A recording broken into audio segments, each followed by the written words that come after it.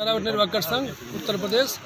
आज हम लोग जो है, इंसीनेटर पैरावेट पशुमित वैक्सीनेट सहायकों की बैठक, जो इनकी समस्याएँ, इनको लेकर हम लोग बैठक किए हैं।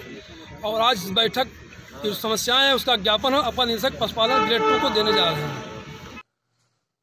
दोस्तों, नमस्कार, आप सभी का बहुत बहुत स्वागत है। आप सभी देख रहे हैं यूट्यूब चैनल अमेठी ब्लॉग और मैं हूँ अंकुर तिवारी। दोस्तों, हम आपको बता दें कि एक बार फिर से जो है वैक्सीनेटर और सहायकों का मुद्दा जो है, गर्म हो चुका है।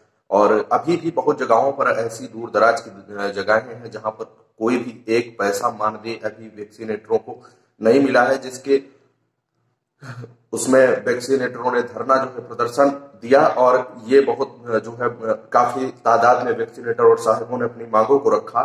तो आइए देखते हैं थोड़ी छोटी सी रिपोर्ट उसके बाद हम आपको बताते हैं पूरा माजरा क्या हुआ था।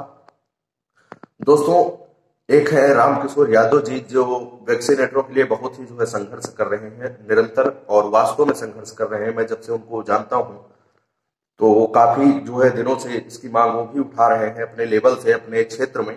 तो उन्होंने ही जो है ये काफ़ी वैक्सीनेटरों और सहायकों को इकट्ठा करके और ये प्रदर्शन किया है तो आप ये जो है इस वीडियो को थोड़ा सा देखते हैं और समझने का प्रयास करते हैं कि क्या हुआ था। मैं आप लोगों को बता दूँ कि अभी तक वैक्सीनेटरों को कोई भी फैसिलिटी जो है नहीं दी जा रही है। इसी वजह से जो है वैक्सीनेटर और सहायक काफ़ी ज़्यादा जो है परेशान है, क्योंकि काम उनको बहुत ही जो है करना पड़ता है दूर दराज के इलाकों में, जहाँ कोई भी मेडिकल फैसिलिटी नहीं होती, वहाँ भी जाकर के वैक्सीनेटर और सहायक काम करते हैं, लेकिन उसके एवज में कोई भी उनको मान दिया या पैसा नहीं दिया जाता है। और ये जो है बहुत ही निंदनीय बात है। और सरकार को सोचना चाहिए। सरकार अगर नहीं सोचेगी तो बताइए सर कौन सोचेगा? तो दोस्तों, अगर आप भी वैक्सीनेटर और सहायक हैं तो इस वीडियो को पूरा देखिए।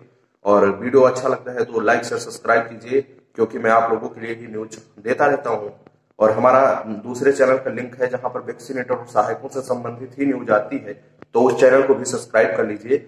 लिंक डिस्क्रिप्शन में है, वहाँ से आप सब्सक्राइब कर लीजिए, जाके चैनल को जल्दी से क्योंकि वहाँ से वैक्सीनेटर और सहायकों की जानकारी सबसे पहले आपको मिल जाएगी सबसे फास्ट तो इसलिए चलिए वीडियो को थोड़ा सा शुरू करते हैं देखते हैं। जय हिंद। था उसका पैसा आज तक नहीं दिया पशुवर्णा का पैसा आज तक नहीं दिया। जो हमारे संसाधन आते हैं क्राउकेन आते हैं उसको बेच लेते हैं वो भी नहीं देते हैं। इन्हीं सब समस्याओं को लेकर हम लोग आज यहाँ बैठे हैं। अभी हमारे एडी आएँगे उनको हम लोग अपनी समस्या तो दोस्तों आपने वीडियो में देखा कि किस प्रकार से जो है धरना दिया गया और किस प्रकार से जो है समस्याओं को अपनी व्यक्त किया गया। अब देखते हैं आगे क्या होता है। वैक्सीनेटर और सहायकों के लिए सरकार क्या करती है, क्योंकि बहुत सारे लोग जो है इसमें विद्रोह, या कह ले या फिर समझ ले अपनी मांगों को जो है पूरा कराने के लिए सरकार से ब्रोडो पे आ रहे हैं। तो अब देखते हैं क्या होता है। आप बने रहिएगा मेठी ब्लॉग यूट्यूब चैनल के साथ और सब्सक्राइब कीजिएगा चैनल को। चैनल का लिंक दोस्तों एक बार फिर बता दें कि डिस्क्रिप्शन में दिया है तो वहाँ से आप सब्सक्राइब कर लीजिएगा। मेन चैनल जो है, धन्यवाद।